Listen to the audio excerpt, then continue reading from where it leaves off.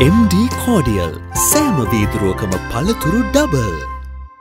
පැලිගොඩ පොලිසියේ මුලස්ථාන පොලිස් පරීක්ෂකවරයාට ලැබුණු තොරතුරු මත මේ තරුණය අතරංගුට ගෙන තිබෙන්නේ කැලනිය දුම්රිය පලස්සලදී. ඔහු සන්තකේ තිබූ අයිස් මත්කුඩු ග්‍රෑම් පනස්සටක් පොලිස් භාරයට ගැනුණා. සැකකරු පොලිසියට පවසා තිබෙන්නේ මටක්කුලිය ප්‍රදේශයේ ජාවරම්කරුවෙකුගෙන් තමන් මේ මත්කුඩු ලබාගත් බවයි. බැලලා ගන්න නැත්නම් වෙන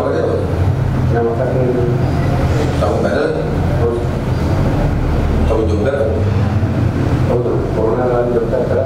මොනවාද? ඒ ලෙවල් කරා. ඔව් ඔය ලෙවල් දෙකම.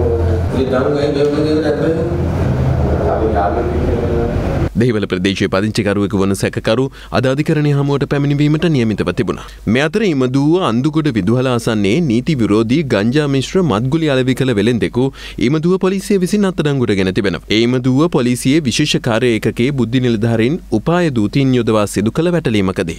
ඒ අනුව අදාළ මත්ගුලි රැගෙන යාමට පැමිණි පුද්ගලින් දෙදෙනෙකුද පොලිසිය විසින් අත්අඩංගුවට ගෙන තිබෙනවා. ඔවුන් අවුරුදු 18ත් 19ත් වයස්වල පසුවන කෝමල කෝදාගොඩ සහ ඉහළ කෝමලවල පදිංචිකරුවන්. පොලිස් විමර්ශනවලදී අනාවරණය වී ඇත්තේ සැකකාර වෙළඳසැල් හිමියා මීට මාස දෙකකට පමණ පෙර සිට එම මත්ගුලි තම වෙළඳසැලේ අලෙවි කර ඇති බවයි. සැකකරු අධිකරණයට ඉදිරිපත් කර ඇති අතර ඉමදුව පොලිසිය වැඩිදුර පරීක්ෂණ පවත්වනවා.